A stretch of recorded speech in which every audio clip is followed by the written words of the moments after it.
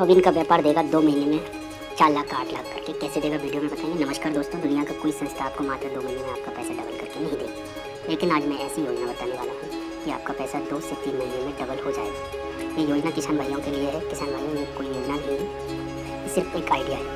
ये आइडिया सिर्फ़ किसान भाइयों के लिए बाकी लोग वीडियो को स्किप कर सकते हैं। किसान भाइयों सोयाबीन का व्यापार में आपको कैसे फ़ायदा मिलेगा? आज के वीडियो में हम आपको बात करेंगे। बस आपसे एक विनती है कि वीडियो को पूरा ज़रूर देखना। एक एक वादा है। कि आप ये वीडियो पूरा देखते हैं तो आपको मैं हंड्रेड परसेंट गारंटी देता हूँ कि हंड्रेड परसेंट हंड्रेड में से नब्बे लोगों को यह सोयाबीन का बिज़नेस पसंद आए किसान भाइयों, मैं कोई चमत्कार करके नहीं बताऊँगा। बस एक ऐसा आइडिया बताऊँगा जो सब कर सकते हैं, लेकिन बस बता देंगे ये आइडिया में ज़ीरो परसेंट घाटे की उम्मीद रहती है हंड्रेड परसेंट फ़ायदे की गारंटी मैं देता हूँ। अगर ऐसा नहीं हुआ तो हमारे चैनल को आप अनसब्सक्राइब कर सकते हैं। क्योंकि भाइयों, ये आइडिया में जोखिम यानी रिक्स भी ज़ीरो है।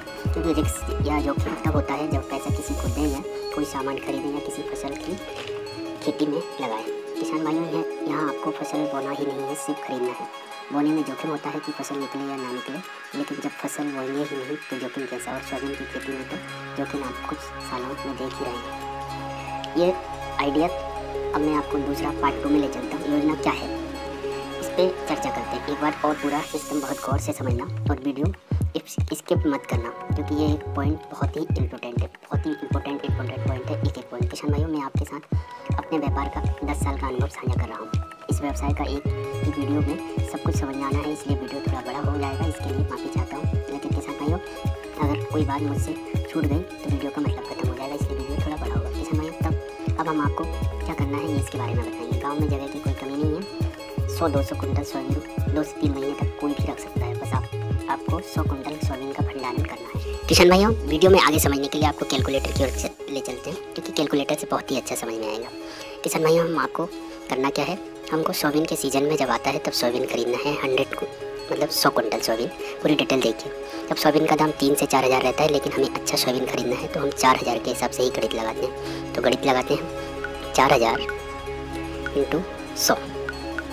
होते हैं चार लाख रुपए।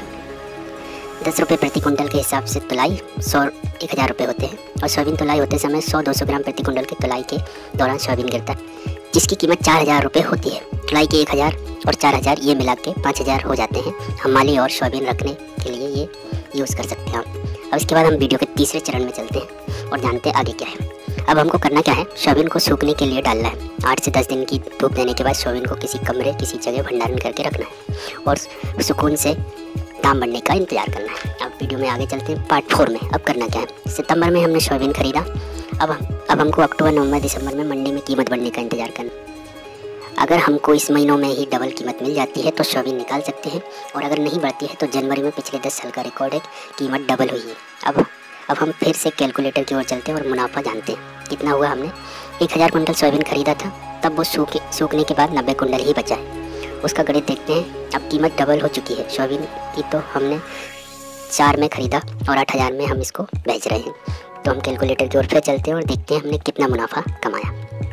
किसान भाइयों, हम फिर से कैलकुलेटर पे आ गए हैं और हमारे पास नब्बे कुंटल का सोयाबीन है।